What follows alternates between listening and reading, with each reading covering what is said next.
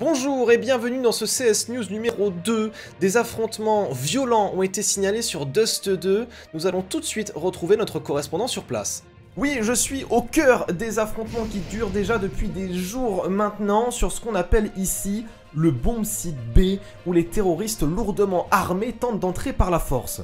Mais n'avez-vous pas peur d'être blessé? Vous n'avez aucune protection et ça semble quand même très dangereux. Ne vous inquiétez pas, je ne cours absolument aucun danger. Comme vous pouvez le constater, ce sont les joueurs de Iji qui tentent d'attaquer ce BP depuis déjà 3 jours. Mais bon, ils ont autant de réussite dans cet exercice que de victoires en Pro League sur les deux dernières saisons.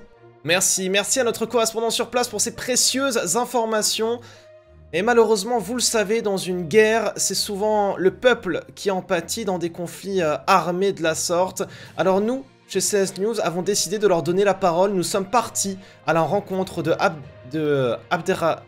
Nous sommes partis à sa rencontre. Oui, salam khoya, moi c'est Abderrazak Smokelang. Et je te jure, c'est pas compliqué. Moi, je suis des dentistes, tous les jours, j'enlève les caries. À part Magisk, j'enlève pas parce que même toi, t'es pas spécialiste, tu sais, c'est pas un carré. Et moi, j'avais les locales dans la langue juste là. Maintenant, c'est fermé. Mais bon, la guerre, j'y connais, ça va. Les problèmes, c'est que les Européens, ils arrivent, ils mettent smoke long, molo voiture. Ça, c'est parfait parce que j'ai pu récupérer l'assurance. ils mettent du flash, etc. Les Sud-Américains, pareil. Les Russes, pareil. Mais si les Américains, toujours dans l'histoire, ils font des problèmes, ils ratent tous les stuff et ça va où?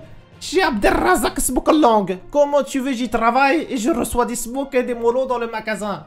Alors, s'il vous plaît, les Américains, laissez-nous tranquilles. Merci Abdé pour ce témoignage poignant et merci à vous d'avoir suivi ce CS News. Prenez soin de vous et on se retrouve à la prochaine.